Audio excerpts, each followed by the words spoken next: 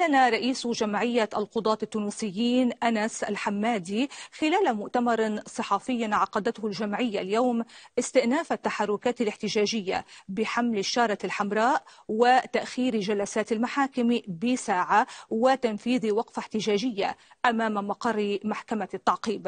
يأتي هذا في سياق رفض قضائي واسع لقرار الرئيس قيس سعيد حل المجلس الأعلى للقضاء وتعيين آخر. تخضع. كامل هذه السلطة يحملون الشارة الحمراء احتجاجا على قرار الرئيس سعيد. حل المجلس الأعلى للقضاء واستبداله بآخر.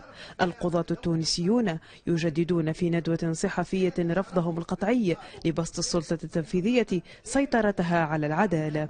جمعية القضاة تقول إنها ستواصل التصدي لإجراءات الرئيس سعيد لما لها من تداعيات خطيرة على مبدأ الفصل بين السلطات. القضاة كلمة واحدة يقولون لا لتبعية السلطة القضائية للسلطة التنفيذية مجددا. لا لارتهان السلطة القضائية للسلطة التنفيذية. تأخير لساعة في مواعيد الجلسات وحمل للشارة الحمراء ووقفة احتجاجية ثانية مرتقبة. كلها تحركات دعت الجمعية عموم القضاة العدليين والإداريين والماليين للانخراط فيها دفاعا عن استقلال السلطة القضائية. ويرى متابعون أن الهياكل المدنية والنقابية للقضاة مستمرة في احتجاجاتها ما استمر الرئيس في نهجه في التعامل مع القضاء. ما سيحصل في تقريبي أن ستكون هناك شرعيتان؟ الشرعية الرئاسية من خلال المجلس المنصب الذي آه، قرره رئيس الجمهورية وشرعية ثانية هي شرعية نضالية سيمارس القضاة فيها أقصى ما يمكن أن يتحركوا في اتجاهه أو يستعملوه من وسائل في إطار القانون. يضيف الملف القضائي وفق مراقبين في تونس زخما لأزمة سياسية واقتصادية ازدادت تعقيدا بمضي الرئيس في ضم جميع السلطات تحت جناحه. ضم ثبت أن تواصله يوسع رقعة معارضيه بين شارع سياسي وقضائي وآخر اجتماعي. يلوح طيف واسع من القضاة التونسيين بمواصلة التصعيد والاحتجاج على حل سعيد المجلس الأعلى للقضاء وبسط سيطرته على جديد مؤقت. توجه يزيد من حدة الأزمة السياسية في ظل رفض سياسي وحقوقي داخلي وقلق خارجي. أمير مهدب العربي تونس. ينضم إلينا من تونس العاصمة السيد مراد المسعودي رئيس جمعية القضاة الشبان. سيد مراد أهلا بك. أنتم ماضون في الاحتجاجات ضد قرار الرئيس سعيد حل المجلس الأعلى للقضاء من خلال حمل الشارة الحمراء تأخير جلسات المحاكم وتنفيذ وقفة احتجاجية أمام محكمة التعقيب. هل ترون أن هذه التحركات يمكن أن تدفع الرئيس سعيد إلى التراجع عن قراره؟ وهو الذي يرى أن هناك ضرورة في بقاء المجلس الأعلى المؤقت في هذه المرحلة آه، خوفا من التدخلات الخارجية كما يقول. في الواقع هذه يعني الحركات الاحتجاجية هي آه، أعلنت عليها جمعية القضاة التونسيين. لكن آه، جمعية آه، القضاة الشبان التي آه، نترأسها أعلنت على تحركات أكثر شدة إذ أقرت مبدأ الإضراب العام غير المحدود منذ البداية. وقد تم اتخاذ هذا القرار نظرا إلى أننا نعرف طبيعة الرئيس ورغبته في التصادم. فهو قد صرح بأنه لن يعود إلى الوراء حتى ولو كان الأمر غير قانوني أو غير دستوري فهو ماضٍ.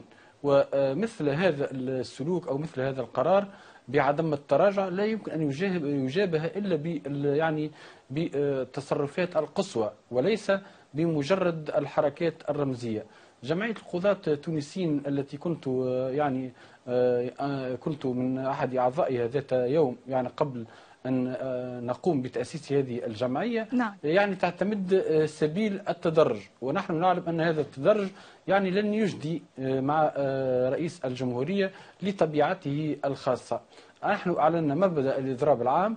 المفتوح منذ البداية وسنصل إلى ذلك متأكد يعني قريبا باعتبار أننا لن يعني نستطيع أن نصل بهذه الحركات الاحتجاجية الرمزية. نعم.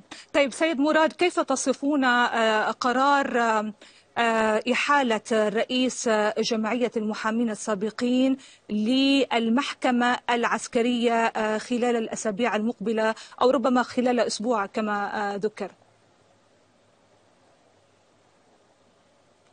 هو في الواقع عندما يعني كنا بصدد مناقشة الأحكام التي ينبغي إرساؤها في الدستور أمام المجلس التأسيسي قلنا بأن المحاكم العسكرية في الواقع هي محاكم يعني خاصة أو محاكم استثنائية لا يمكن أن يتقاضى أمامها المدنيون وتمسكنا بذلك. وكان وقتها المحامون وبقية المجتمع المدني صامتين ولم يقبلوا. لكن آه، بطبيعة الحال هذا هو نتيجة ذلك الصمت. أن يصبح المدنيون يحاكمون أمام المحاكم العسكرية في وقت حتى الدول الأجنبية في كامل الدول الأجنبية يحاكم حتى العسكريون أمام المحاكم العادية المدنية. مثلا في الولايات المتحدة الأمريكية يمكن في آه، بالنسبة للقضايا العادية أن يطلب العسكري محاكمته أمام القضاء العادي. لا يحاكمون أمام المحاكم العسكرية إلا بالنسبة لجرائم الحرب وخارج نطاق آه، البلاد. وفي الواقع هذا أمر غريب وتم تكريسه والآن نحن نعاني منه وسيعاني منه المحامون وكافة آه، يعني أطياف الشعب آه، التونسي. وبطبيعة الحال المحاكمة دي كانت على ضوء رأيه فهو لم يفعل شيء فقد عبر عن موقفه. وبطبيعة الحال المحاكم العسكرية هي التي تتمتع بالاستقلالية التي يتمتع بها القضاء العادي. هي محاكم تعليمات وخاضعة مطلقا لرئيس الجمهورية ولوزير الدفاع. بطبيعة الحال تكون أحكام الإدانة معروفة مسبقا وكذلك حتى أحكام البراءة أحيانا تكون أيضا محددة من قبله. شكرا جزيلا لك سيد مراد المسعودي رئيس جمعية القضاة الشبان